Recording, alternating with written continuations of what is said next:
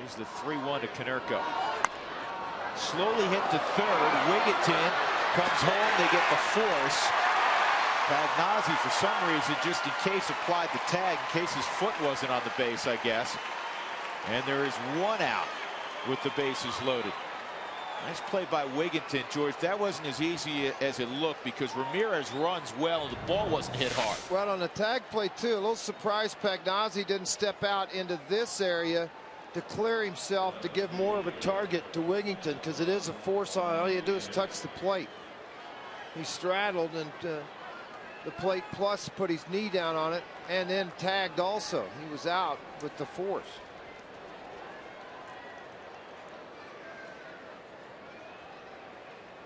And now Juan Pierre, who's had a big series against the Rockies, six hits. He drove in a run on a sac fly.